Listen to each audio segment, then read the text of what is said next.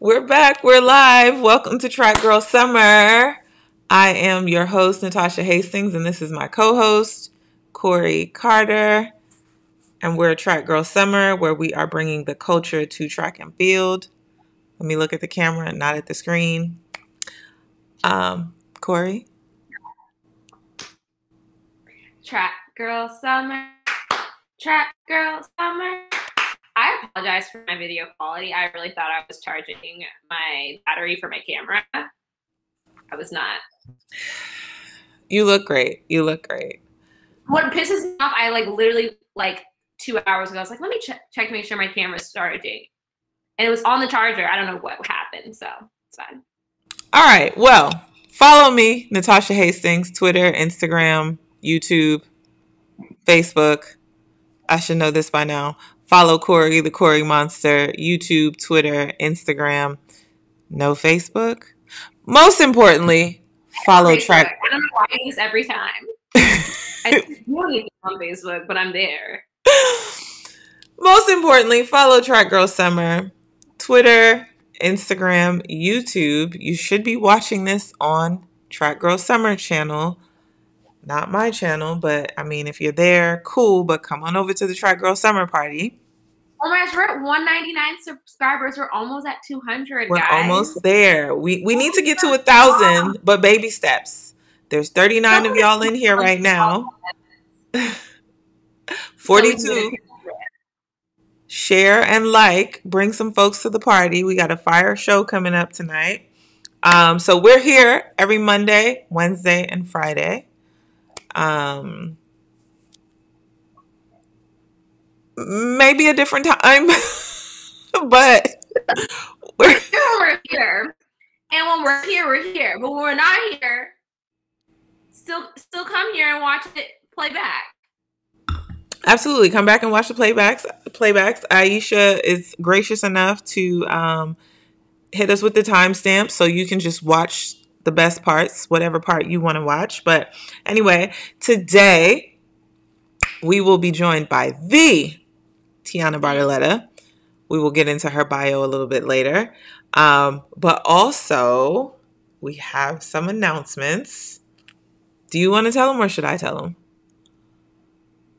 Well, first we we first gotta do a fit check, and then we will get into the Oh, exciting oh, news. We're gonna do the fit check first. Okay, okay. Let's let's we always do the fit check. let's do Kori's fit check.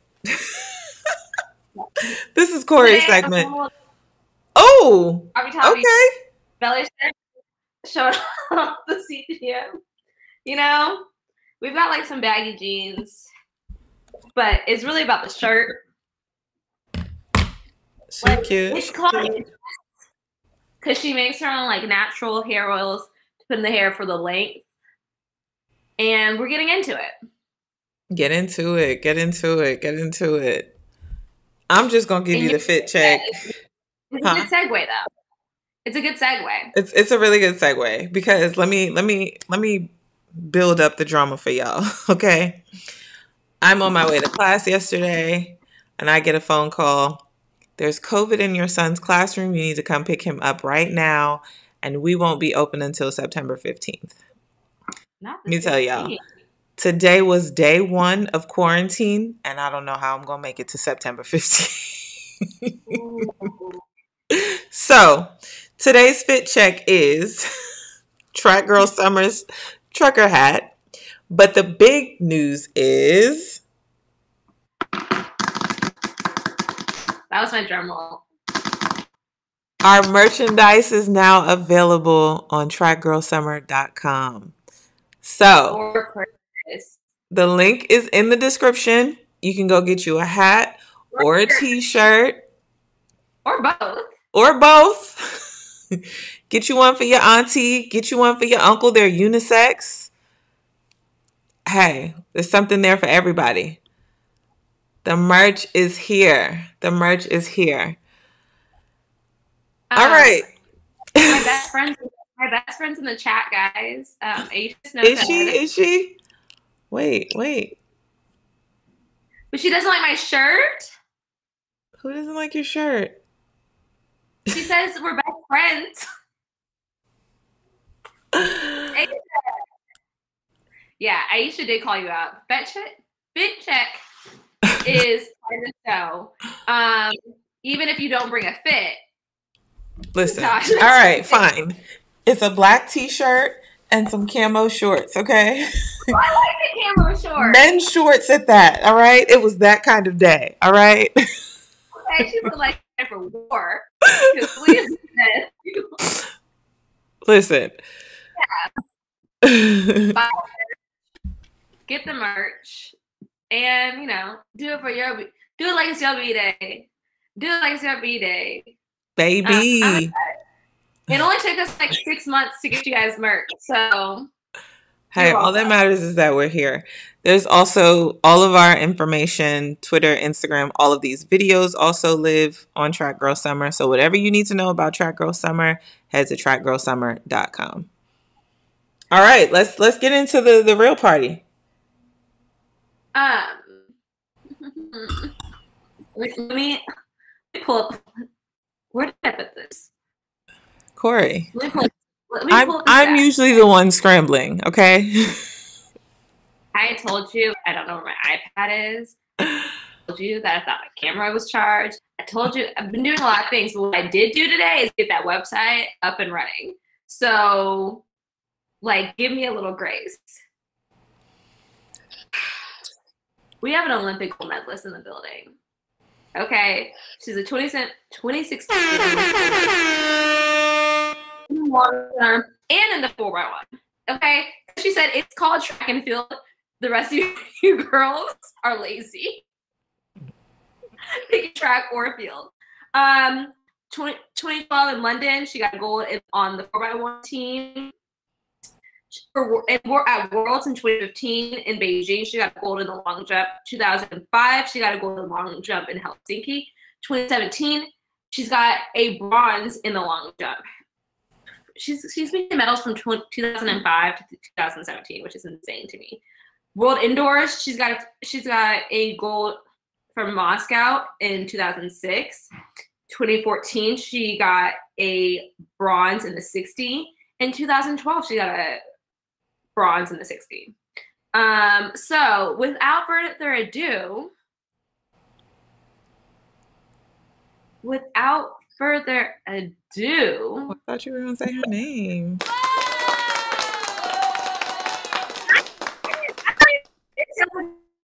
You know who it is? Oh wait, and you look on. so good right now. She looks amazing. Thank you. I put in like, some effort. a lot more effort than me. I was gonna say, I was like, is that is that Shay? Hold on, did we miss something? Is it your birthday? My birthday was two days ago.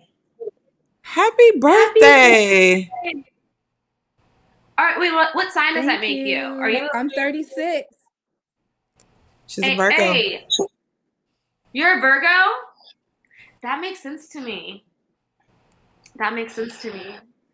Can I just say, we have never had this many people in our chat.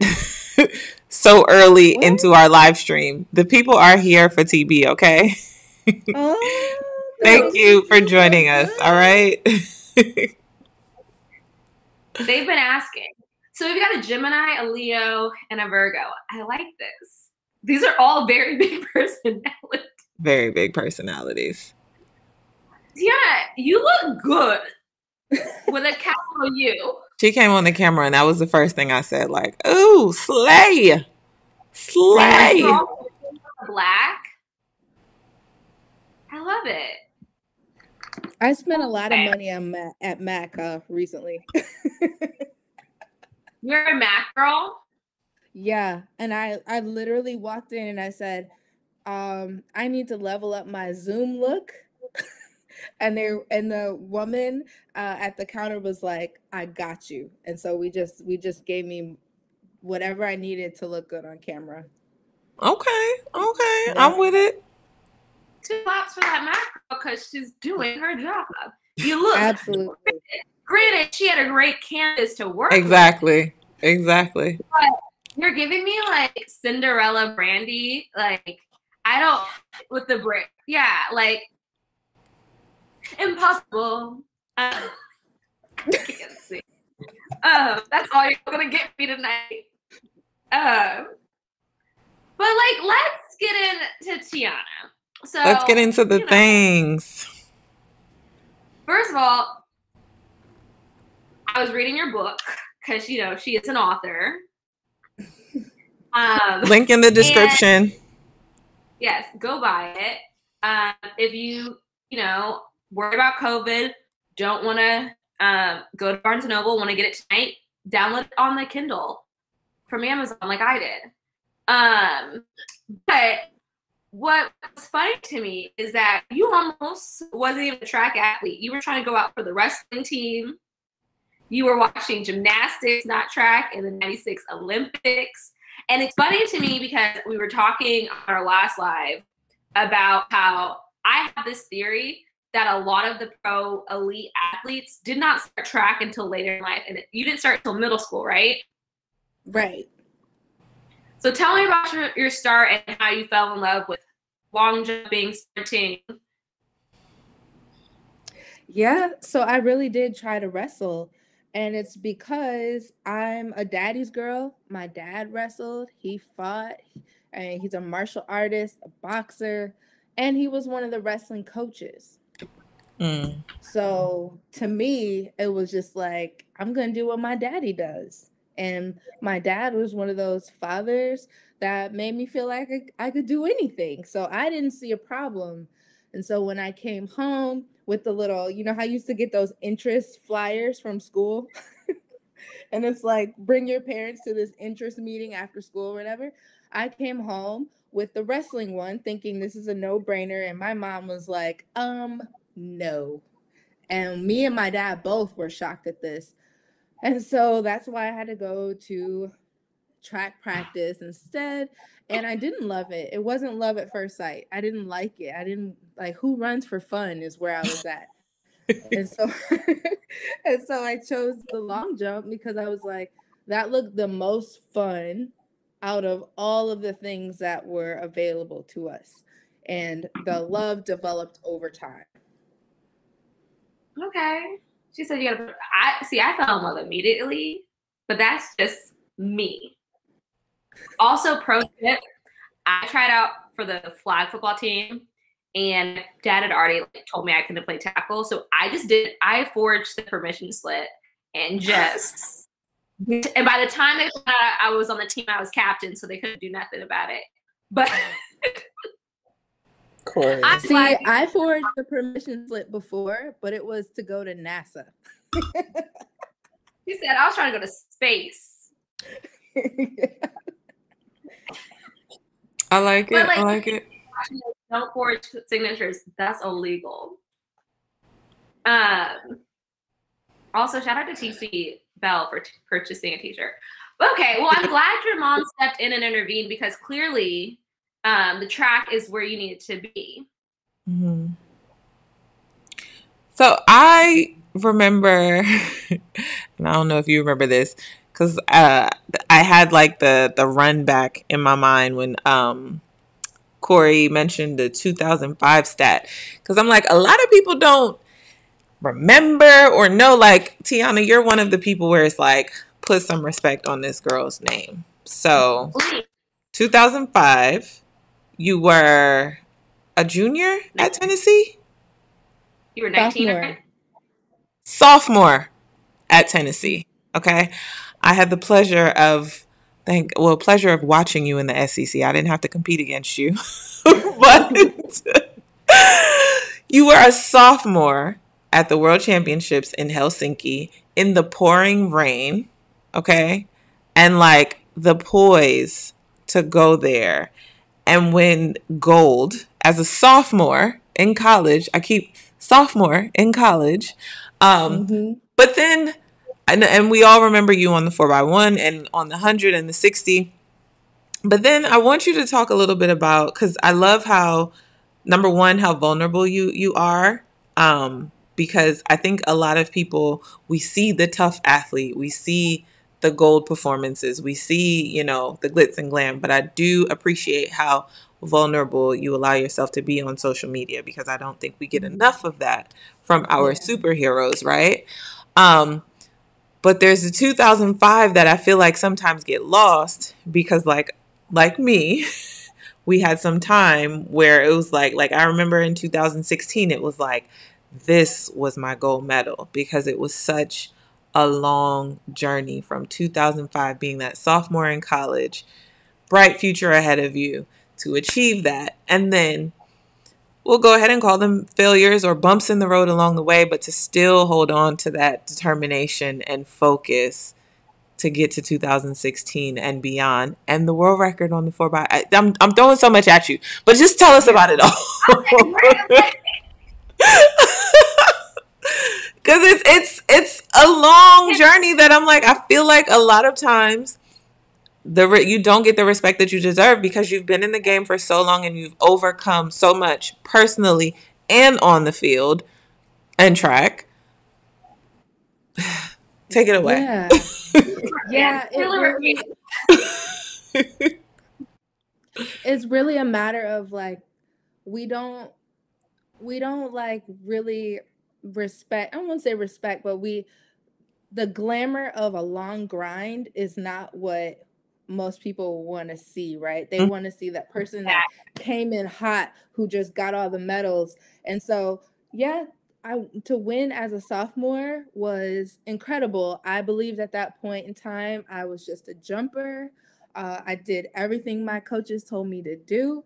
Um, everything wasn't perfect, like my diet wasn't perfect or anything like that. What I did have was mental toughness.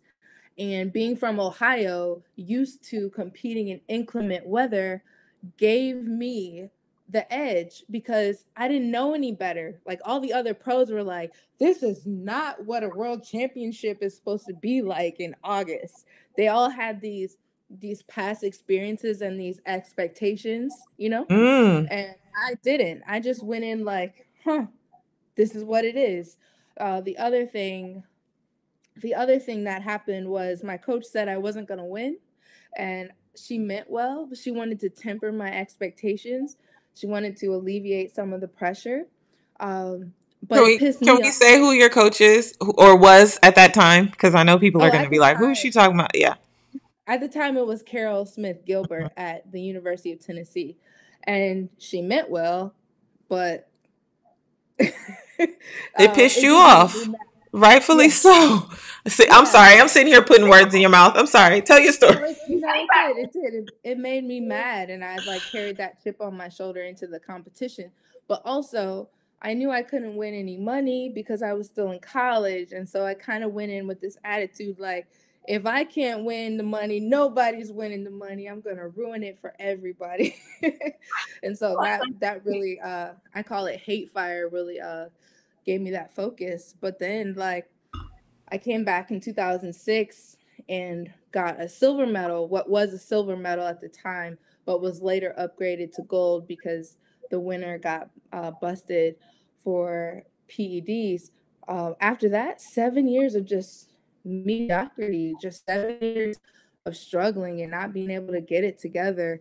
And so much had to, so much happened. It's just like so much of life was happening during that time. And I can't separate the life from the track. Like Mhm. those two things. I bring all of my humanity with me to the track, which is why it's so easy to talk about that as all one thing. Mm. And um, it started to come together uh, in 2012. And it was interesting because people were like, it happened overnight, but those seven years of, of trash mattered. Like they really helped color who I became later. So it's the it's the whole career, honestly. Yeah.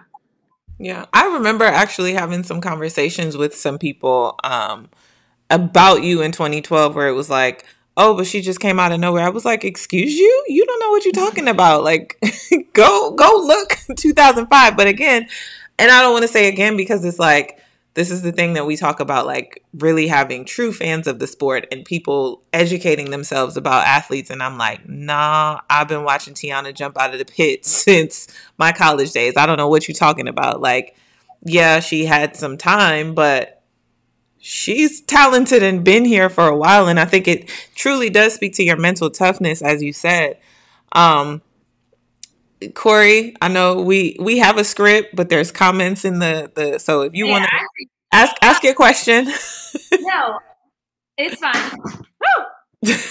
Uh-oh It's Uh-oh. Um. Anyway, what I was gonna say is, you said that you bring your all of you humani- humanity onto the track, and I think as athletes, like I call myself the queen of compartmentalization. Like you will never know what's going on with me, and I think athletes are expected to do that. And I think, I think it's so imperative that people understand that we are human, because I think about you know the past few years, the past couple years with with COVID and like people getting depressed and having a hard time like going to work. And it's like we have to, but I feel like people expect athletes to be superheroes and you know perform on it on it on notice. Like we saw that with Simone, we saw that with Naomi, just the both Simone's actually um having to put their mental health um before performance. And I think as athletes, we're expected to always put the goal of above our health, our sanity, our peace. Um, and and on top of that, we have to perform our job in front of everyone. People yeah.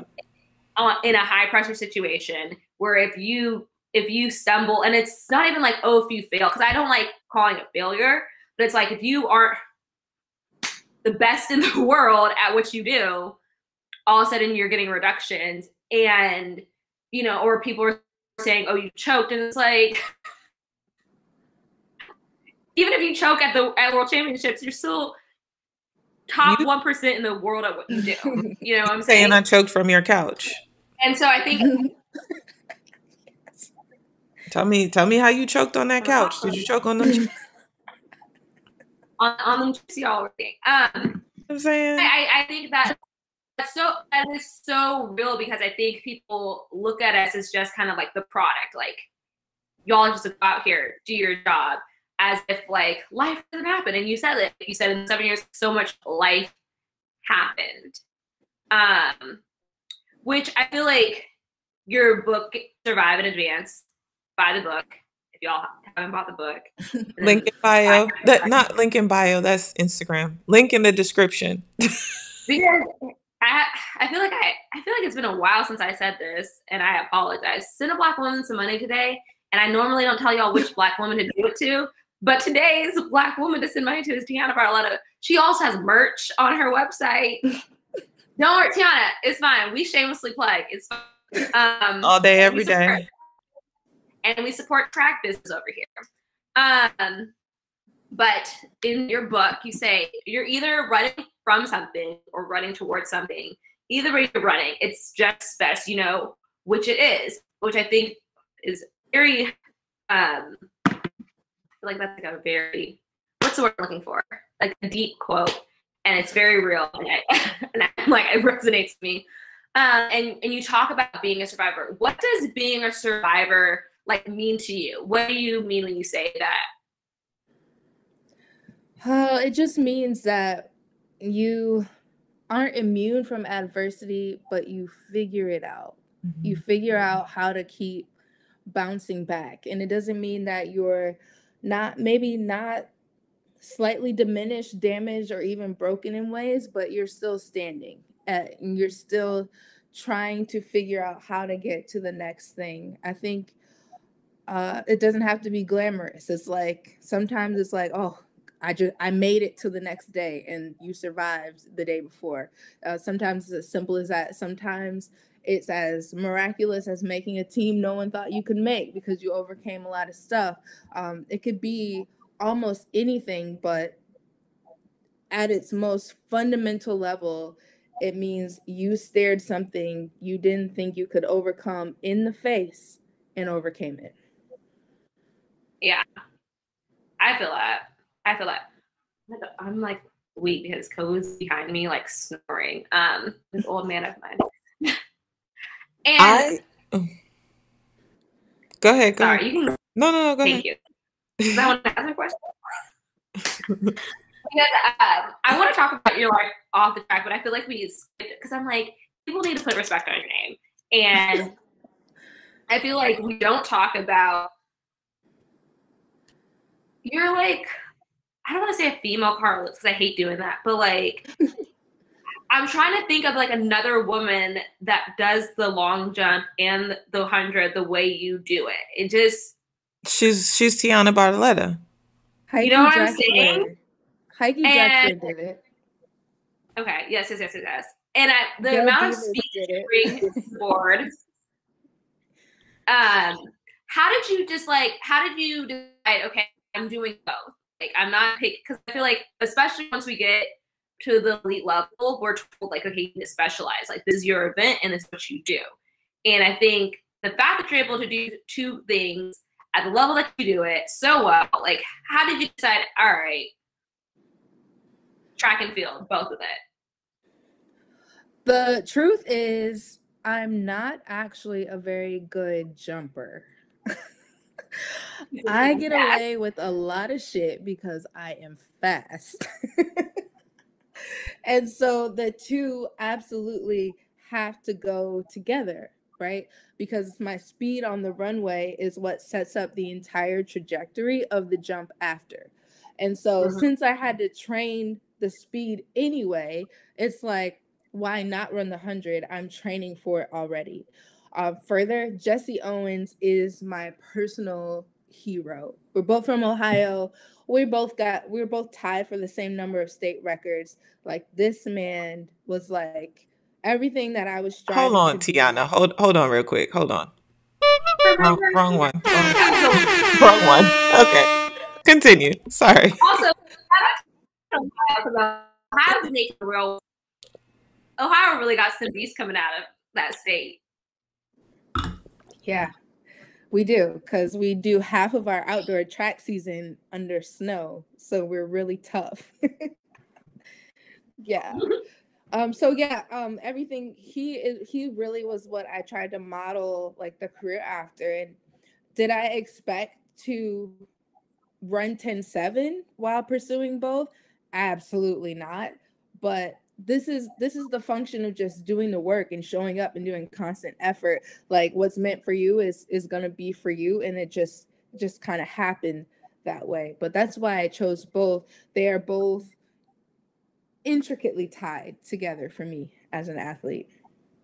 So you started that off with i'm not really a good jumper and i rolled my eyes and low-key got mad but then also knowing you and listening to you in your description just now is why you're an amazing jumper is because of like just being a student of the sport but your attention to detail. Like I, I mean we see it in social media from the meal plans the meal preps. Every single one of them have the okay? training the weightlifting the dancing in the gym like bringing the humanity to it, bringing the fun to it. I think you and I have had conversations before about like losing the joy in what we're doing and and finding a way to mm-hmm. bring the joy back into it. Um so it's it's it's interesting because I like how you know we say here that you know we're fans of the athletes, but more than anything we're fans of the people, right?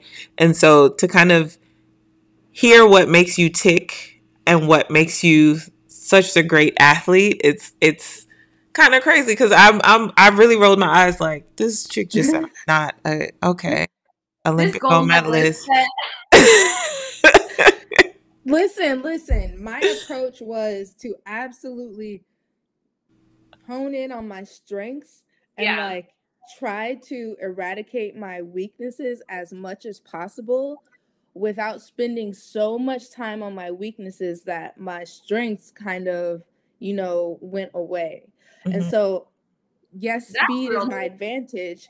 And we spent a lot of time trying to get me to slow that rotation down using proper technique, but I didn't always get it. I mean, I got it the day that I won the gold medal, but I don't always get it, and so that's why that's why I said I'm not I'm not a very good technical jumper.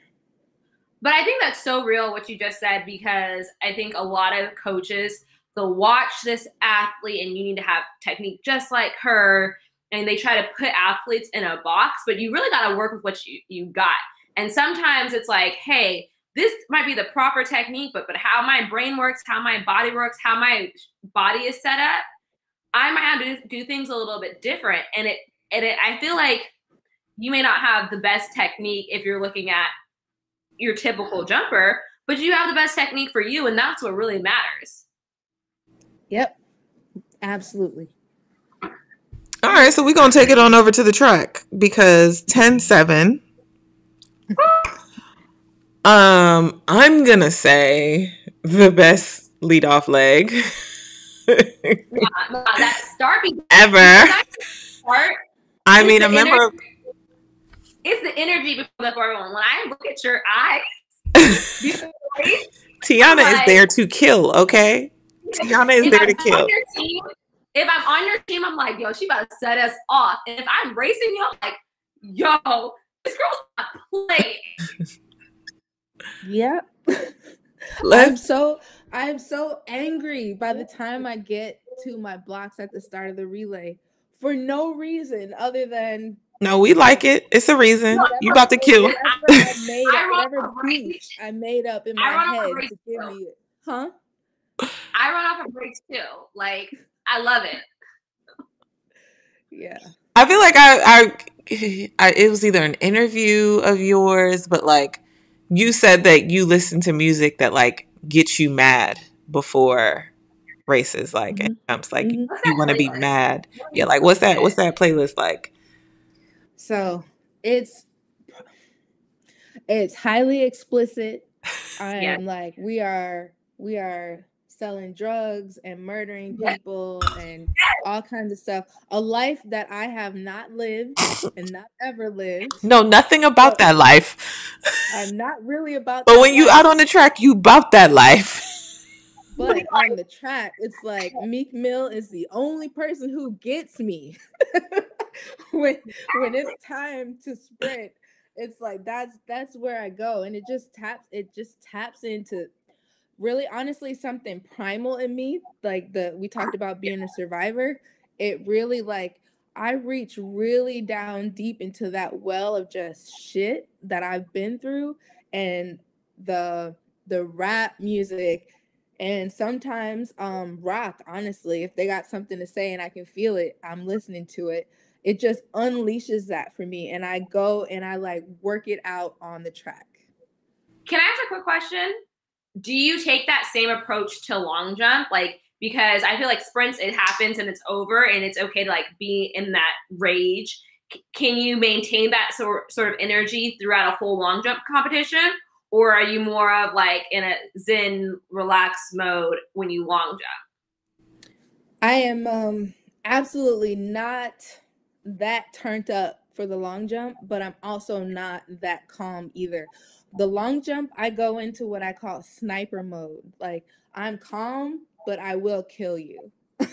like very controlled because the approach is not zero to 100. It's not bad out of hell. It's very controlled.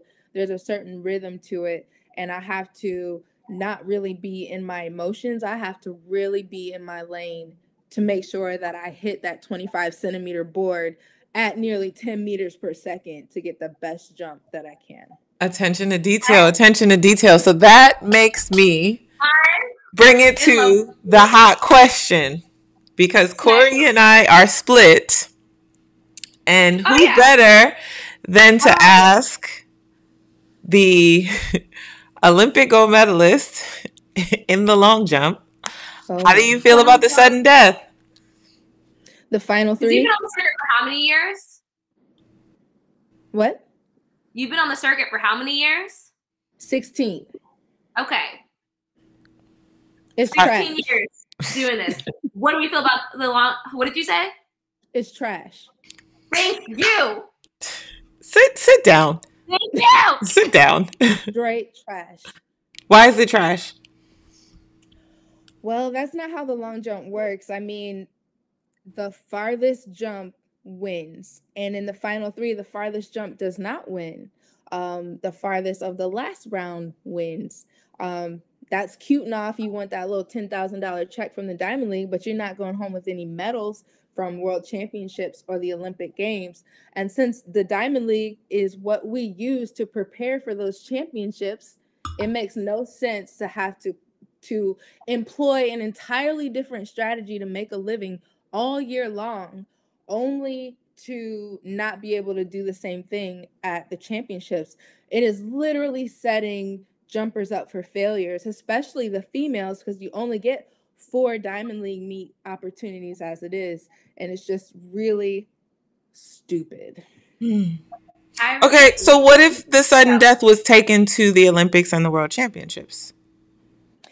I would I'm happy that I don't have to worry about that because it's still gonna be trash. Okay. Thank you. Thank you so much for breaking it down so it can forever be broke. Um I feel vindicated. I feel seen right now. you feel validated. I just feel like I knew it was right. But Tianna just, you know. I just feel like I get it, but I still feel like I get one shot and but my no one asked you. My semi 400 was faster than my final in Rio, but I don't get to go home with a medal. So, well, but the arguments that the arguments to... that you made that like you know it's not it that's not how it works at the World Championships and the Olympics. Fair, but yeah, I just feel like you know my my semi and my prelim don't count for the final. So, but so listen, they they they changed the, they changed the they changed the rule in order to put a spotlight on field events because we don't really get a spotlight, right? And they said that that which I think the, is BS. I don't agree with that, yeah, but they said that was the rationale. And then one of the people at World Athletics asked me they came to me and asked me what I thought about the rule. And I said, it's trash. I said, what you could do is the same thing and then give the the farthest jumper of the last round a clutch check. Pay him a little bonus for being the person who could jump the farthest in the last round, but don't mess with people's checks. Don't mess with the best jumper out there's check or points or any of that for a spectacle for TV. Walk out there with a big ass check that says clutch jumper with like a thousand dollar bonus and and call it good. Like why why do we have to mess up the whole results for this spectacle? Someone said, so you put a spotlight on the person who didn't jump or throw the farthest. LOL. Yeah, okay. That's thing. I just want ballers to win. Y'all know that I just want whoever is balling to get their get their bag. Someone and who's balling is track girl summer. 117 folks in the room. I'm hot. I'm hot. We hot. Keep sharing and liking. Bring some more folks to the party. I, I got one person in the chat on my side. I think I think sudden death is I think there are certain situations like exhibitions and street street meets where sudden death would be cool. I would love to be in a competition where if you have the shortest jump of that round, you got to sit down and let it just be the last person standing. But Ooh. when you start messing with like the things we depend on to prepare for championships and Olympic games, then that's when I'm like, please don't. You can create other like I would love to see that in an American track league event. I would love that because Paul does such a good job of making sure there's enough opportunities. That's where you do those kind of things. You don't do it when you only have four opportunities to get right before a championship. In this like um last man standing situation, now I'm obsessed with it. Um if you foul, do you just like automatically go? I think so. Okay, I love it. I see it. I want this to happen. This is living in my heart. I'm not. I'm not a resistant to change, Natasha. I'm you are resistant to change because I'm i just keep going back to you know we only have four opportunities, and it's like I do wholeheartedly get that there are only four Diamond League events for female long jumpers. But then I go back to again, like, I only have one round at every Diamond League event, and then I get to the World Championships and I have to run three rounds. Back in the day, it was four rounds. So there is still a level of like what we do leading up to isn't necessarily what we actually do there. Um, so I don't, I don't, I, I don't know. But I still don't. But yeah, I feel like you were saying that like you guys have exactly the same. I think like, the example is more like you get to 300 and if you're not top three they're gonna snatch your ass off the track is more what it's like for a long jumper than a ra- yeah. than a whole round not counting yeah I I agree. I mean, I guess I, I just still see it as you get four attempts, you get six attempts. The best one counts. I just get one shot. uh, but I'm not out there jumping, so I don't I don't I don't know that perspective. My perspective is just I just get one time around the track and what I do around the track that one time is what it is. What I do in the final is what it is. I don't get to, to have a best out of for a long jumper, the six rounds is the equivalent of one time around the track. All right. that, that since since I don't know for how long, how many decades, maybe even a century, it's been you get six jumps. All right. And, and when when the world when I'm the world saying, just because I I'm gonna listen. But that's just me. I just like to listen. Just to, because it's been away for however many centuries doesn't mean that it's right. You know, once upon a time, Women couldn't go out and get a bank account on their own without their husband. Didn't make it right. But, you know, apples to oranges. But I'm just saying, I like being the devil's advocate. I like being, you know, solo out here. It's okay. I'm just. want to offer different ways to spice up the long jump in ways that weren't stupid. Okay, we're not saying don't change that stuff. Just just don't do it in ways. Itchy ways. I would like to talk about you. You are a writer. You have a book, but you also have a blog where you touch on a lot of, you know, deep topics, controversial topics. And, I, and what I love is like you're not afraid to be honest and open, even if it opens you up to criticism. And sometimes because the internet's trash, eight. Um, but like, why do you write? Why and like, why do you write? And like, how do you deal with sometimes people being like, yeah, Teal was over here? Because mm. I don't think you're hating. I think you're just being honest. Honest. Sometimes we don't. And I think before you answer that, because I want to throw something in there, I feel like there is no one on the track that I have seen that's more accountable than you.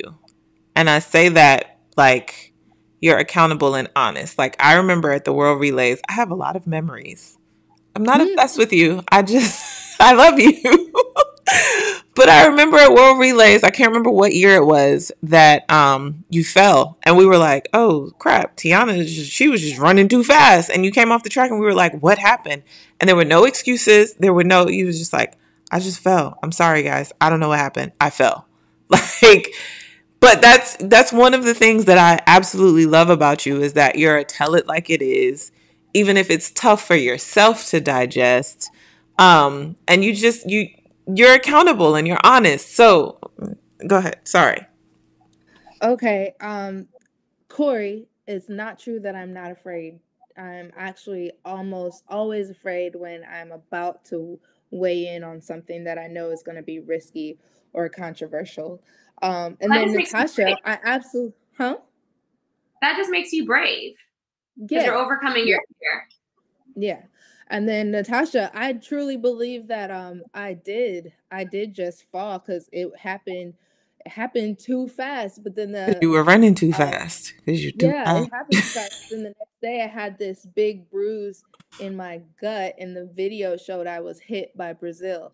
But I wasn't gonna make that up in the in the moment because I actually didn't know what happened.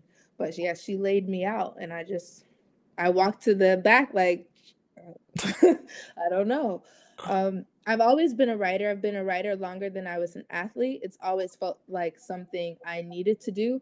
I get really fidgety and anxious when I'm not writing.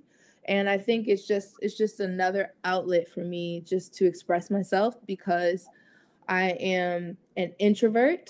Um, a lot of people find that hard to believe. I don't. And I have I have a hard time um, expressing myself verbally on the spot. Like I'm really awkward um, when I'm not prepared or when I'm thrown into a conversation where I need to express myself. Um, Do you feel verbally. like awkwardness, Kori? Because I feel like she's very eloquent. Okay. And, but we don't feel that. Well, I feel it. But if you have me like write first, um, then I'm very clear and artful and to the point with with my words.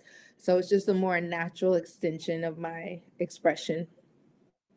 I think that that definitely speaks to probably why you're such a joy to follow on social media and to follow your blogs and um we're not going to call no names because we can get a little controversial and we do get a little bit shady here.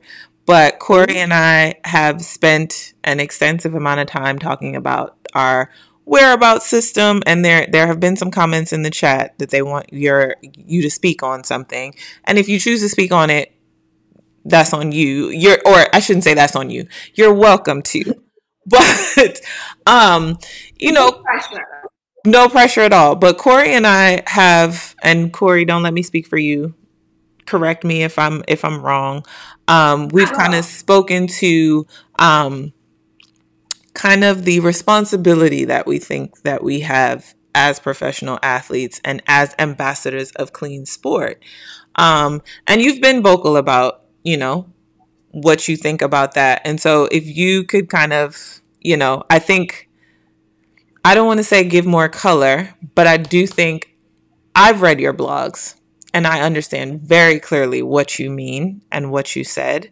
And I think sometimes people like to take your words and twist them, or they see what they want to see or read in what you're saying, which I think is beyond me because I think you're very clear in your standpoint and in not throwing anyone under the bus and and believing in what you believe in and also believing in clean sport if you could talk a little bit about that um you know again what you're comfortable with but yeah and i would just yeah. like to say I feel like it's easy for people. Like I think people have one perspective when they're looking from the outside in, and so you think things go a certain way, and when when you're over here, like actually this is how it actually breaks down. Sometimes people don't pick it, pick that up and catch it. You know. Yeah. Which is why I think we yeah. get it. yeah. Um. I do believe in clean sport. I believe that if you have to cheat to win, you're obviously not a cheater. But that's not usually what I I weigh in on because that's that's obvious. I feel like that's obvious to most of us. Mm-hmm. Um, what I weigh in on is the very preventable like whereabouts situation. Um, is it annoying? Yes. Is it like sometimes an inconvenience? Absolutely. Um, but also it's like the one mandatory thing that allows me to like play in sand for a living and travel the world and like live in South Africa and the Netherlands. So it's like, damn, if I gotta pull out my phone and and text USADA my new address, then I guess I have to do it. And so that post was more like I was just as a fan of the sport and really wanting to see that showdown uh, coming up at the Olympic Games, I was disappointed that something that all of us have to do is so easily fumbled by so many of us, mm-hmm. like it uh, across the board, so many of us. And it was just like going into an Olympic year, like let this be a reminder to not play play yourself that way, yeah. especially especially if you're a clean athlete. Like, just don't do that. Like, there's enough people out here cheating us out of great performances and showdowns. Like, don't do these people any favors by not taking care of this kind of business. And I just, yeah. I just think we need to be more mindful of that. Like, there's only so many things that we absolutely have to do to live this life that we live. So like just do it. Yeah. Yeah. yeah. I think, I, think. I ran my mouth. Go ahead, Kori. You speak on it. No, I, I just wanted to say I think you're definitely saying that with love is what I'm getting, and that you are definitely someone who has been on the circuit for a minute now. And so you can come to someone as someone who's done it and like as a mentor and be like, look, like it's real out here. Like this this is something not to play with. Um, and I think I think you're definitely saying it because you want younger athletes to like have all the opportunities that they can because you, this life is not guaranteed. You it can be gone in one, one hamstring pull, and like you have to take advantage of the opportunities you have when you have them. Um, so I think what I love I, the most about what what and how you say how you wrote the blog and how you address the situation overall. I'm gonna mess this up, but I hope everyone catches my drift. Um, is that you you say it with compassion, right? And I think a lot of times, and I I want to say in our community and a lot in this generation, um, when we hold each other accountable, it's you're hating. And it's like, no, actually, I see so much more in you. I see so much better that I'm actually just holding you accountable and want you to be accountable. I wanted to see that matchup. I want I want to see I believe that you're clean. I don't believe any of these things. This is not what mm-hmm. I'm saying. What I'm saying is I just want you to do better so the rest of the world can see what I believe in you, what I see in you. And Kori and I over the summer were up till 2, 3 a.m. It was a learning experience for us to like actually read up on the rules, to kind of sit back and really sit with well, why do these rules even exist? You know, if we believe in clean sport, like, yeah, it's a burden, it sucks, but is it that difficult or is it that much to ask for to, as you said, play in the sand, travel the world? Run 49 seconds, run 52 seconds, run 10 seconds, run 9 seconds. You know, like, is it that much? Is it too much to ask? Gold medal and to ensure that when you are going out and competing, you get your gold medal that day, not years later when they found out the person who they gave your gold medal to was dirty. Like, there's a reason why we do it. It's not just to be inconvenienced and to give you access to our sport. It's also to make sure that we have a, a, a clean playing field. Right. Um, so right. I, you you speak facts. Here's the thing: no one can get mad at you if you speak in facts. Well, they mad, honey, but well, we ain't mad. They're mad. They're mad, and um, there's a lot of people that believe I had some kind of obligation to just speak to him directly, but the the truth is like I was speaking to all of us because we all he wasn't the only one and i mentioned that in the blog that had these whereabout issues at the time that mm-hmm. i wrote the blog and so I mean, I've I've been taking a lot of darts, darts on that, and people are still mad at me about that and accusing me of attacking one of my own and bringing down and piling on um, a black man when he was already down. But that was, I respect their opinions and their positions, but I can only say so many times that's not what my motivation was. Right, and I, I, yeah.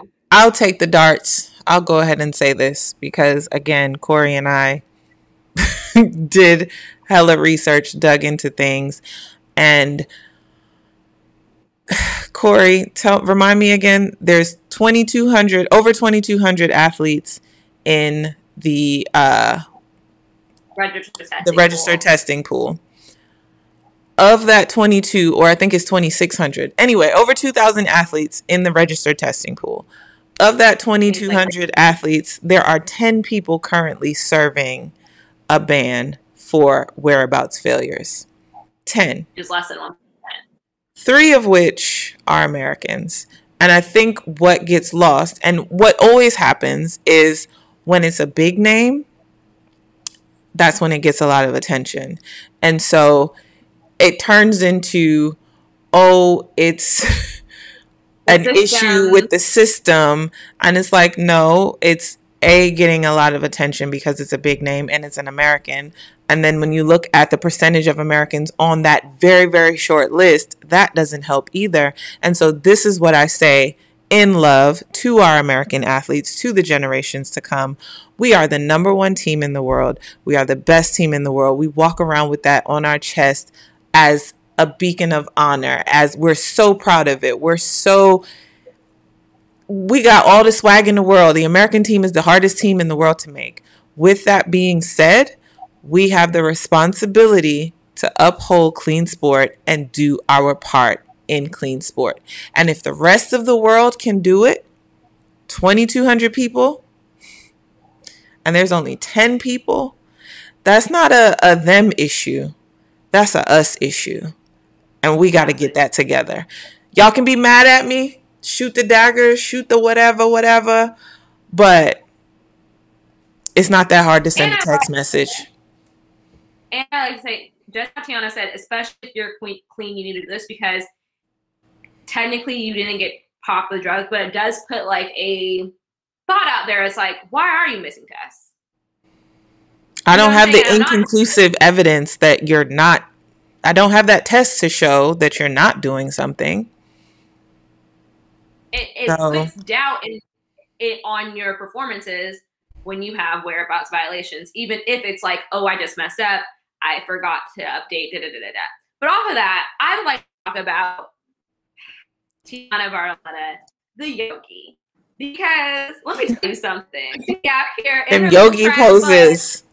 I need to learn a poser too. get into the warrior, get in the sun salutation, um, what? How did you start doing yoga? What, like, why is it an important part of your daily life? Um, and then also, I just feel like when I when I see you doing yoga, I'm just like, this girl loves her body. It just feels like a very, you know what I'm saying? It's like a very mm. positive mm. experience. Yeah, I think yoga helped me to love my body. I think mm. um, in a sport like this, when being very in tune with your body is important, we don't always love it because it's um, our body is linked to performance, and sometimes when the performance isn't where we want we want it to be eh, our body is to blame or like our nutrition is to blame and so sometimes we're always looking to change it but i started yoga as a a counter to my uh, training because I couldn't sleep. I my central nervous system was always wired, and so it really helped uh, treat that insomnia by switching me into the parasympathetic nervous system so that I could rest and digest and recover. And then I had was blessed with really good teachers who were like like dropping wisdom during the classes and i was like what is this philosophy? I really this is really resonating with me. This is actually healing me. And so it's just a practice that i decided to keep. So it's both a spiritual practice and it kind of uh, keeps my body super healthy because i can prevent injury because i'm Someone very asked, aware of my body. Yeah. Someone asked, does yoga hurt your sprinting ability with all of that stretching? No, because yoga actually isn't stretching at all. It is the type of yoga that I practice is vinyasa. It is constant dynamic movement. So it's like the equivalent of doing an active dynamic warm up before a workout. So I never stretch my muscles beyond their capability. Occasionally, post practice before bed, I do a yoga called yin yoga, which is very um, you hold the poses for a long time, but gravity does its thing and I don't force anything. And that helps me to relax. So both of all of those practices complement my sprinting ability. They don't take away from it. I just want to say when you come to the track girl summer, I hope you're not coming here for just like a mediocre experience or excellence is just the standard here, okay? I hope y'all caught all those gems that Tianna just dropped, okay? From the beginning of this this live to now, like the gems are just a dropping. Okay, continue. I'm sorry. I, I get carried away sometimes. Am I embarrassing no. you, Kori? no, I'm looking at the notes, but I'm I'm laughing because I'm like I feel this in my core too. Like I'm, I'm still I'm still I'm still over here standing over Tianna's cheekbones, jawline, nose snatch. I'm still like every time I look at this screen, I'm like, wow, Tianna really came out here and was like, is a girl summer. And I appreciate it. Um, but no, I, I think I think that's that's very dope. And I was listening to an interview about with you, and you said something along the line of like you used track for a long time as therapy. Like you worked out a lot of things on the track. And then at some point you had to figure out who you were as like Tianna Bartoletta, the human being, aside from Tianna Bartoletta, the, the performer. And I would love to hear just like one, how you came to that realization, like, yo, like I am more than my accomplishments, my medals, and and how that journey went for you. Because I think we always talk about mental health and and I think one of the things I love about our show is that we get to show who people are outside the track because what you've done on the track is obviously amazing, but like that's not why you're amazing. The truth is I knew that I was about to be dropped by Nike basically. I knew that the contract was going to end and the um redu- or the reduction was coming and I had to figure out I had to find a way to make that not uh, mean my value as a person was less, which is how I took it every single time every I single got time, yep. or dropped. And um, I knew that because of the fragile state that I was in, having just got divorced and was fighting all that and stuff in court, I knew that if I didn't get my shit together and figure that out before that reduction or like termination came down, it could it could basically kill me. That like that could be the end of Tianna period.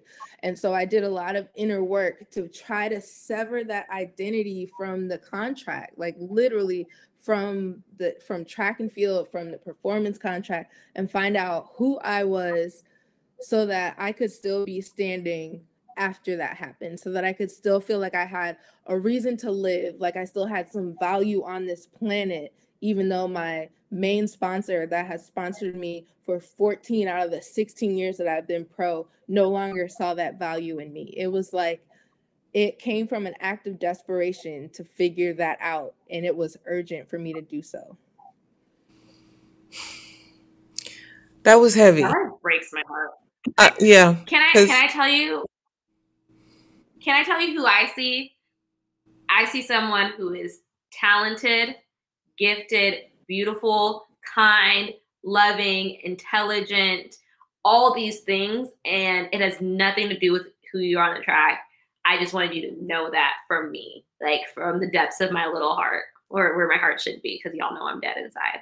Um, I try to be nice, and then I always I ruin Kori. it. You always ruin it, because I was getting ready to say that's from both of us, not the heart part, but I I just think it's and I'll say it again, it's one of the things that I think is most honorable about you because again, you can go out there and jump far, run fast, break world records, win gold medals, and people have no idea what is going on inside. And I think, you know, even when you shared like yeah, I was going through a divorce and I was literally jumping for my life. I, I think that's mm-hmm. basically what you said. I was jumping for my life.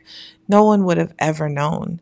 And I think it's a true testimony to like superheroes, we go through our things too.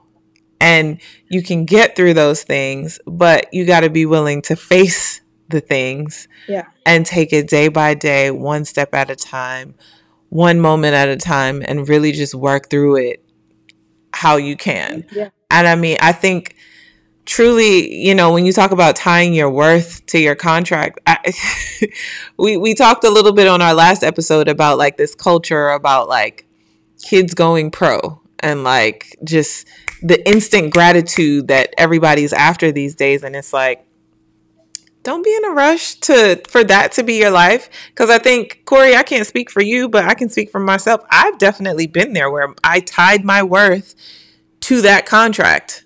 I tied my worth to making that team. Now mm-hmm. imagine five six seven years eight years not making that team and going home and like living with that and then still waking up the next day and continuing to go after it um, yeah. I, I just think you're a true definition of resilience, but also just the way that you are, again, honest, vulnerable, brave, intelligent. I just. It,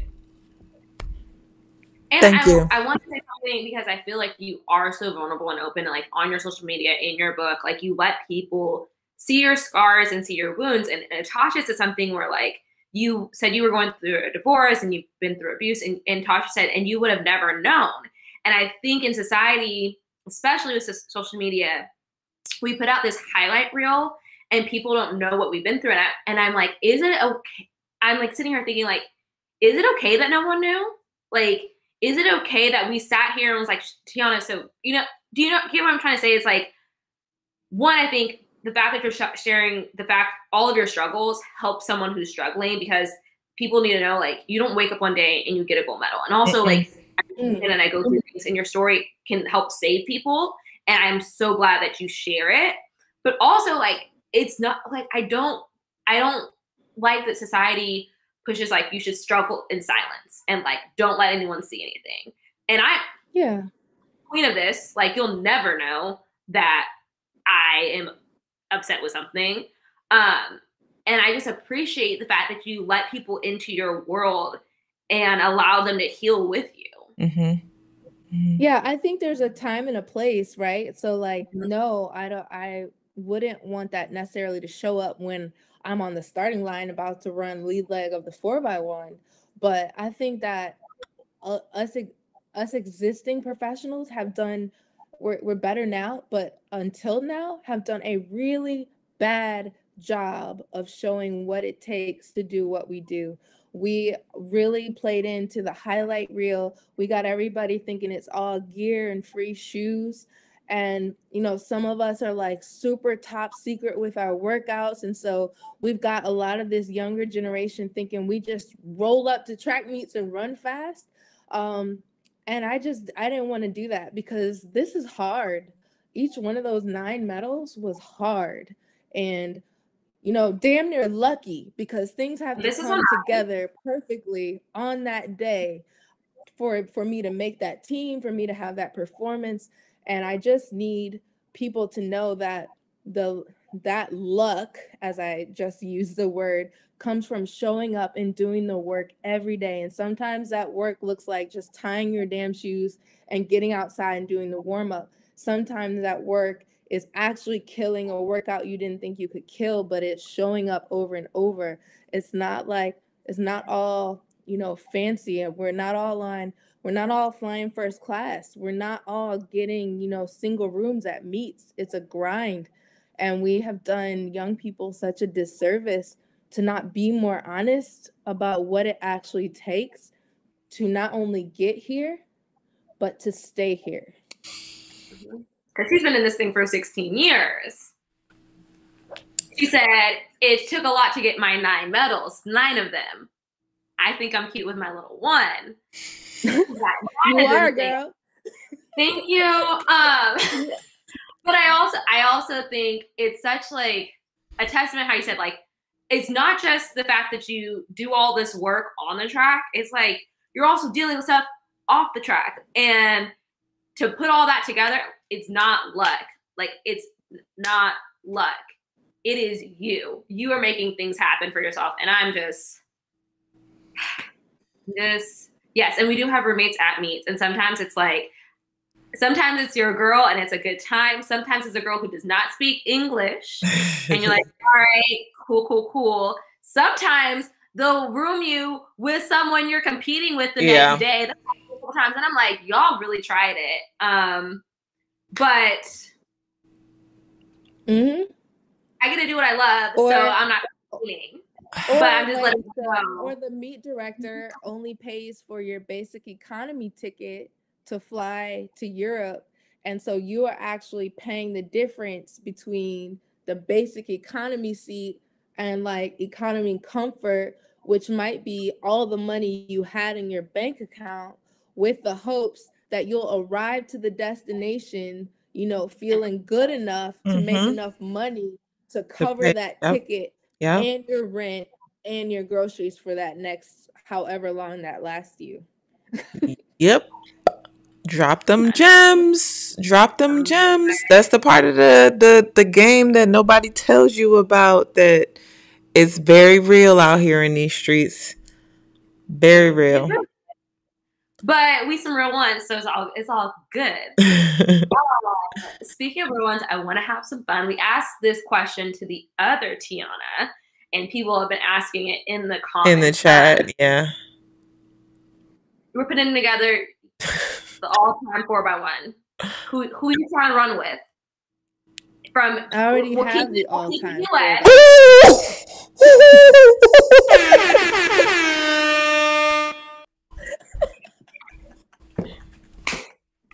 Wait. I love it here. I'm trying not to wake my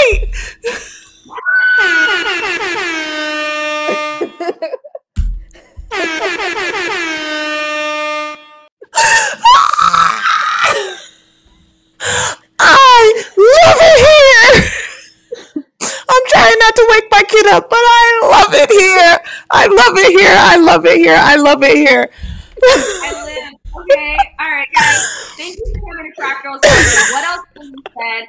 We'll be here Monday, Wednesday. Oh, like I'm ending the show. I'm ending the show because what? Because like no. Excuse F at me. Um, Look, I had to get up, okay? I got out of my seat. Woo! Dude, are we Well, is there still an interview? Are we still talking? well, right. You know what? Here, here's my question. Talk about that world record for one because people were also also asking about that. Can you just like tell me about that? I saw I saw you posted like you. I think you posted something talking about what you said to Allyson before the race. Um, but we'd love to just hear about that story. How you break world records? Gosh darn! my heart. I- Yeah. So Can someone please tell me where my scalp is? Because she took all my edges. And I don't, I don't know if people actually know how we put together relay teams, but um, it's a the Right process is messy on a good day, like, and so in most championship years, the the team isn't even selected until you know we get to the championship, right? Like that's when we learn who the final team four hours is. before race. day. Yeah, but in 2012, we the four of us actually ran together in April at Penn Relays. And so I think that gave us an edge unlike any other Team USA team before that because we started practicing before Penn Relays. We ran together at Penn Relays. We were already familiar with each other since April, which is unusual for any other team that we had. And so when we all thank goodness, you know, made the team in the relay pool, we showed up to Monaco like we do this. like we've already we've already done this. We've already done this with adrenaline. We already have done this in competition. And so I think it gave us an edge. Like we weren't just figuring stuff out at the meet, which is our typical Team USA way. So even though our 2016 team was faster on paper, we didn't have that chemistry that our 2012 team had, nor did we have we had more of a stress-free ride to getting to London. And I think that made the difference. And and honestly, when the the path to making the team is as smooth as it was in 2012, you are then free to just show up as your highest self, run your ass off, pass the baton, and be done with it. There was not a lot of uh, drama or politics. Bianca Knight was the third leg. Somebody asked, and I just went. I just think so. We had Bianca on. So simple. Why y'all gotta make it so? It can all be so simple. Why y'all gotta make it so hard? It can all be so simple. Don't hit don't hit us for copyright. But it's it's so crazy because we had Bianca on um during the Olympics and you know, Bianca gave us her perspective of like why you guys are the world record team and the chemistry that you all had. Allyson didn't feel comfortable giving it to nobody else but Bianca. Bianca broke down how Allyson is deceptively fast. Allyson doesn't mm-hmm. look as fast as she really is coming into her. Jet didn't feel comfortable taking it from anybody else. You just kill those blocks in the first leg. Like, but you just broke it down in a way that like I didn't know that y'all ran that same team in April in mm-hmm. at Penn Relays. I didn't I didn't remember that. I didn't think about that. But yeah, like y'all had that repetition from Penn Relays to Monaco to London. Mm-hmm. I will disagree with you a little bit. Your experience was drama free getting, to London, but there was a little bit of, you know, that the the the the the dead heat matchup whatever situation. Okay, wait. Wait, wait, wait. I'm not gonna let you put that on the relay coach though, because we come on, set me straight. We all, we all understood and we all signed those athlete agreements, which say in the small print, the coach can name the team out of whoever he wants.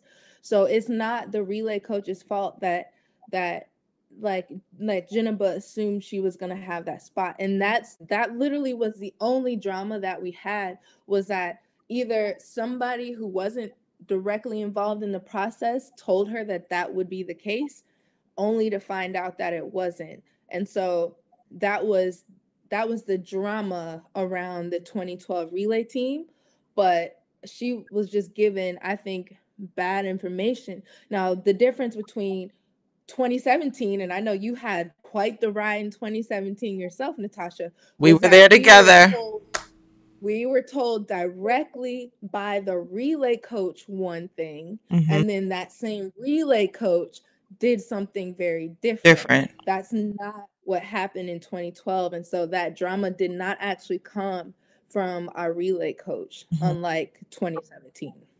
Yeah. What I love is the Virgo in you read the fine print of the athlete agreement. yes. And Tianna was like, "No, no, no! You're not gonna put that out here. I'm gonna set the record straight. I pre. That's why I said you are truthful. You are honest. okay, set me straight. However, Guys. it was still a very different. Like so. So now, Kori, Allyson, we got to get you on. We got to get your perspective. And Jet, we got to get you because it, it, you just broke it uh, like Bianca broke it down in a way that like we got goosebumps. We felt it. We ran the race again in our head, and then you just broke it down like logical. You, you hit me with the logic. Yeah, you were like, it's it's so funny that you're like, yeah, we ran two times before together, and like that doesn't seem like a lot, especially when you think about how these college teams run every weekend together. But when you when you're doing handoffs one uh, just a few times at while still trying to do your rounds, like it makes a difference mm-hmm. to get mm-hmm. those mm-hmm. two little together. Mm-hmm. Yeah, um, yeah, we're definitely harder when the team.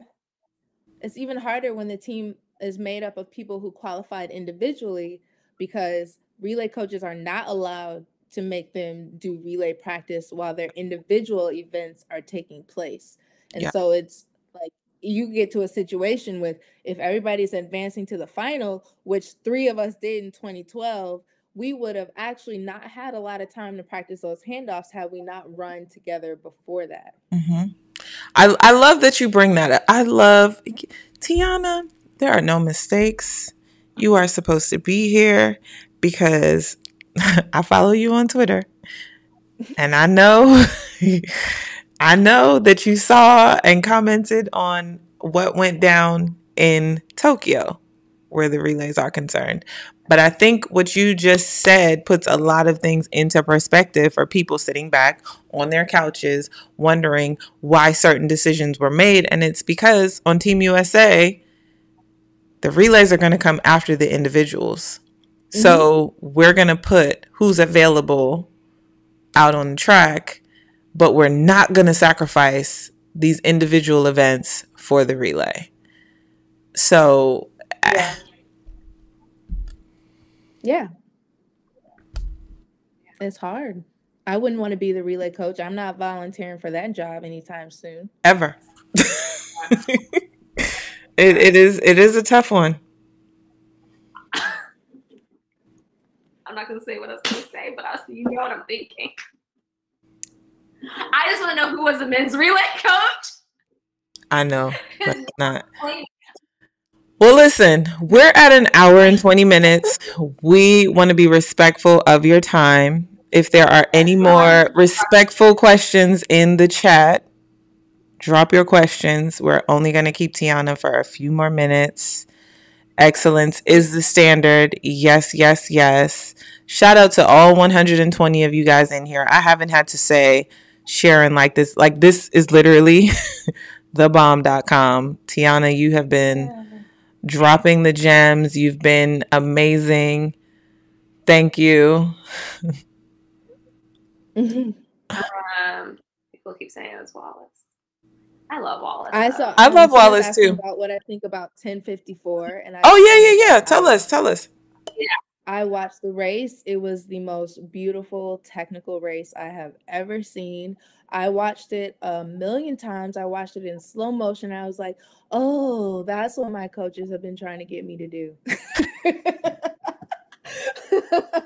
that's what it's supposed to look like. that's it was, what. I thought it was mm-hmm. incredible. Um, what a time to be a sprinter. Damn. like literally, right? From like 100 to the 400 hurdles. Like, yeah. Track and field is just, you, you know, Kori and I had our moment. We, we kind of got emotional too. Like, we didn't make the team this summer track girl summer came out of this thing where we sat on the couch and critiqued the athletes who were actually there. But it was crazy how like 2012 I didn't make the team. I couldn't watch the games. I, still haven't watched 2016. I could I couldn't watch it, but I was able to watch these games and I thoroughly excuse me enjoyed like seeing how Sydney ran 51 Sydney's world record equals my season's best over the flat 400 this year. Mm-hmm. and a couple years ago, I'd have been butthurt about that. but now I'm mm-hmm. just like, yo, track and field is like, it's going to a whole nother level. And it's like, I'd love to be a part of it. She's still probably gonna get out there. Um, but Ooh. it's exciting. It's exciting to see like the sport just leveling up and especially the women uh, Kori. I just want to. I just want to say something, Natasha. I just want to. I want to tell you. Um, I used to feel like that. Like if I if I couldn't get into a meet that a meet director didn't think I was good enough to get in, I couldn't watch the meet. You know, and I thought I was gonna be like that for for these Olympic games. Um, but I'm gonna tell you what my friend Stephanie Bruce told me. She told me hundreds of athletes went to the trials Three athletes in each event made the team. You're not special. Most of us didn't make the damn team.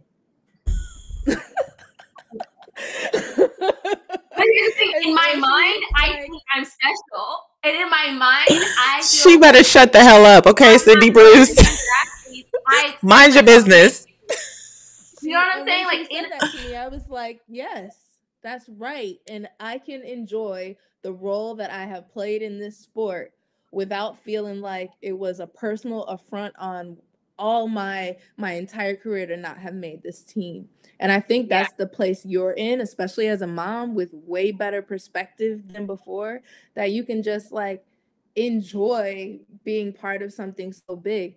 Like mm-hmm. you were in a 400, now the 400 is strong. You were part of the ground floor that made that possible. You were part of those four by four legacies. Sure, they're called the dream team this time, but you were on a bunch of those teams before, and all of that matters. Mm-hmm. Listen, I wasn't going to tell y'all, but I cried today. Don't make me cry again, okay? um I had a moment today, but I'm going to one of the things that I'm learning in therapy, and I know that you you have your experience with therapy too, is to receive the love that others pour onto you. Tianna, I received that. Thank you. Why don't you receive my hugs? People want to know if I'm going to go to Worlds, and the jury is still out on that. And I want to tell you why the jury is still out on that. That's because training yeah. is hard. And every yes. single year, you have to decide if you're going to be willing to do the work that's required to get there. It's not as simple as I'm going to go to practice this week. It's literally like I have to take a bird's eye view and say, do I want to give up alcohol for the next nine months? Do I want to not have anything else on my agenda but but but training and dieting and all the the structure for the next, you know, X amount of training blocks. And so until I absolutely know that answer, I'm letting myself just be right now. But I will get to a point where I will know that answer. And once, if the answer is yes, then I'm all in. And if the answer is no, then the answer is no. Because at the end of the day, you have to be willing to do the work, and that's mm. what it takes. It's not. It's, you have to be willing to like. Do I really want to feel booty lock? Do I want? Do I want to wake up in the middle of the night because I I'm cramping? Yep. Like yeah. Am I trying to get into an yeah. ice bath? Yeah. Can I just say, I turned. I, I turned 35 last month, or I'm sorry, in July. Today's September 1st. Um, mm-hmm. You're 36. I talked a lot about like our collegiate career together or competing against one another team wise um, being on several teams together, and everything that you just said. I'm in that same space where it's like, I know what I can do. I love what I do. Um, but is it realistic in the sense of like waking up and making that commitment every day, giving up the wine? You know, I, I'm a mom, all of the things, but I get this sense from you, and you haven't said it, but it's something that I feel and I think that it's definitely a part of the journey and a part of finding my worth in that I have a peace. And I hope that you have the same peace in that I don't know what tomorrow looks like. I don't know what next summer looks like. But what I know is my journey thus far has shown me that I'll be okay. And my mm-hmm. worth does not lie in whatever that decision is. So, in that, love on you, which we chatted a little bit before we got on. So, it sounds like you're doing a little bit of that now. And just embrace the journey. Cause, like, you've proved, ev- proven everything that you have to need to you don't you don't even need to prove anything to anyone anymore to yourself to the world like it truly is a journey for self and how much you want this and if you want yeah. it at all. And if you don't want it, that's fine too. But I'm really like loving this space that I'm sitting in where I'm able to like I cried today, cried tears. and I was like, "Ah, oh, this is good." But like sitting in that space, it's something that like all I'm just trying to say is from one sister to another that's been in this seasoned tied my worth to this this game tied my worth to the, yeah. the the contracts the accomplishments the this and the that love on you know that yeah. you're you're an inspiration you've done it all and whether or not you choose to continue to do it you a legend in my book you dropped the mic on us tonight okay i love you the same way he came over here and he individually pulled out every single follicle of my hair. and I thank you for it. I honestly thank you for dragging me so hard. I appreciate it. I feel like I'm gonna wrap this up because this will be an hour long show. Before you wrap it up, minutes. Even if you decide not to run anymore, keep writing, keep sharing, keep Yeah. being Oh, vulnerable. course. We need more of that.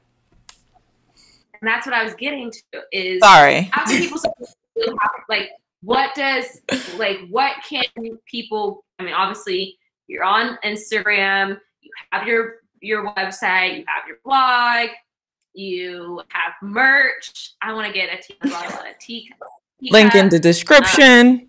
Yeah.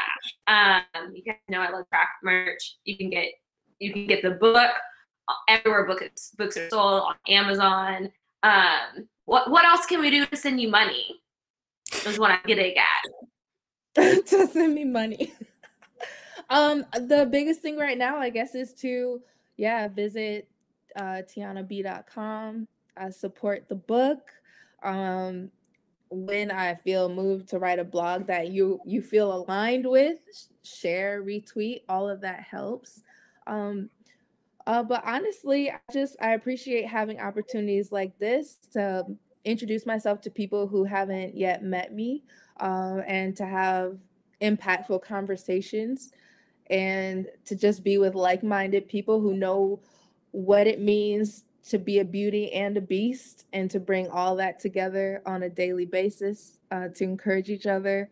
Um, that's what i try to do across all the socials and you know sometimes you i'm not motivational all the time. Sometimes i get down but i'll show you that too. Sometimes i'm petty. I'll show you that too. We Um, like a little but petty. We like it. yeah, but like even if, if even if I don't decide to like compete, like I'm really been thinking a lot about opting out of the rat race, which is what I feel like um like the Diamond League is right now. Um they're treating athletes like we need them more than they need us.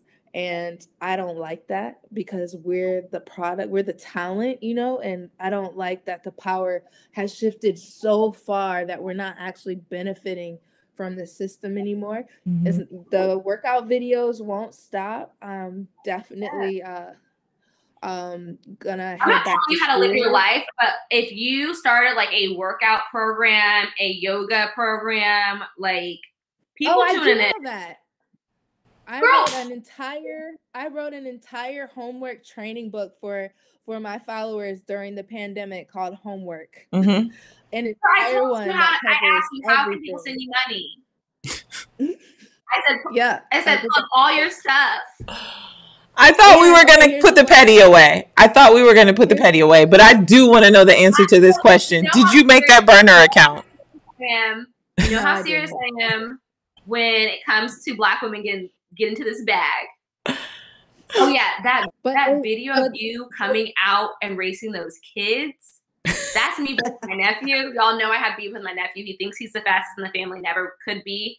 The way you, I was like, no, she got into this three point stance and was not playing. listen. Oh yes, listen. I love it. Listen, I gave them a whole talk for like an hour about the hard work that goes into being fast and like getting medals. And I let them hold the medals. And I'm like, please understand, this is not easy to do. And then, of course, some little kid in the back is like, I bet I could beat you. Like it happens every time. And so I'm like, all right, little player, let's go to the playground. I was like, I'm not about to burn up my whole presentation by letting him beat me. yeah. She said, "You don't get this." Can I? Okay, and maybe it's because I don't know how to flirt. But when guys were like, "Oh, let's race," sir, how do you win in this situation? Because either I'm going to come get you, and you're gonna get embarrassed because you got beat by a woman, or you beat me, and like, what did you win from that? Like you, you have I testosterone. usually say to I usually say to them, um, no, no, I don't race for free. That's what I usually say to to grown men who. I tell them you don't want these problems. I will embarrass you in front of your whole family. But yes, she. Oh gosh. Jamie, hat's coming off. Um, someone said, as pro athletes, you have random people calling you out to race. Yes, every single time someone someone finds out you're on track. I think I, you want to. It's always men though. It's always men. Yes, because do do I think some men don't respect what we do? Yes, sir. I will drag you over these hurdles. Um, we need to end this live. I was about to say we have kept Tianna. We've gotten messy. We've gotten deep. I'm, I'm fine. I'm on vacation, and we're just like, yeah, let's have all of your time. Um, but gosh, darn it! Like, first of all, thank you so much for joining us. Thank you. Like, you've been a pleasure, a joy, and have enlightened us on a lot of different things. Y'all need to get into Tianna Bartoletta. I'm trying to tell y'all right now. Um, let me pull up the script. I can do this outro. I haven't remembered out. We didn't put the outro on because you don't. You added the intro. That's your part, but you don't care about me. Oh, I'm sorry. I normally do add your outro. I forgot. It's fine. I know it. Okay, guys, thank you so much for joining Track Girl Summer. Make sure you follow Tianna Bartoletta at Tianna Bartoletta on Instagram, IG, uh, tiannabee.com to get to her website where you can buy all of her things and send her money. Um, she, she told you Nike wasn't supporting her, so you support her. The actual.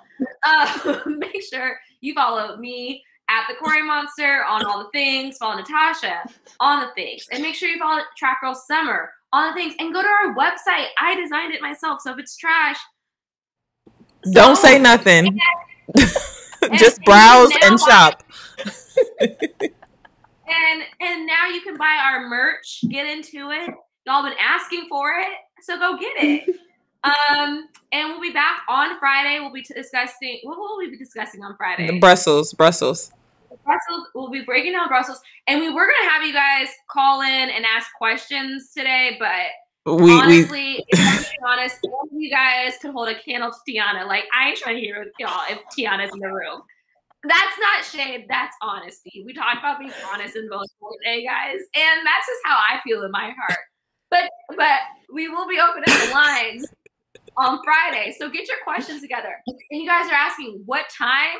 I don't know. I don't know, but we'll be here. And you'll be here too. So it's gonna be This is why I need my stuff in uh, the outro in the script because when I go off script, it gets messy, Natasha.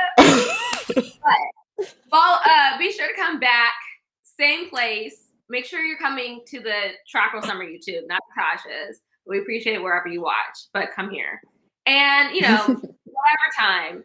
And make sure to remember that no matter what time of the year it is, it's always a track girl summer, baby. Hey. Bye, guys. Thank you, Tianna. Thank you. Bye. Bye. Do like